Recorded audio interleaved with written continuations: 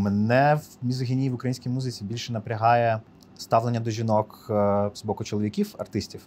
І тут яскравий нещодавній кейс з Потапом і його піснею про волонтерів. Приспів звучить наступним чином: Ой, мама, не питай, з ким була, і де ночі провела. Я була з хлопцями, бійцями, я волонтерила. Чому взагалі в сучасному суспільстві доводиться пояснювати, що це ненормально?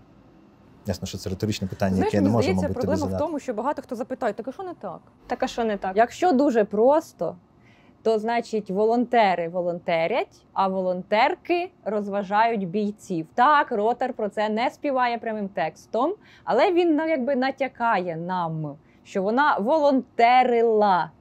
Перше в житті я вжила цей жахливий знак. Але це знову створення жінки як е, функції, яка щось робить, розважає чоловіків. Це не людина повноцінна, яка може також волонтерити.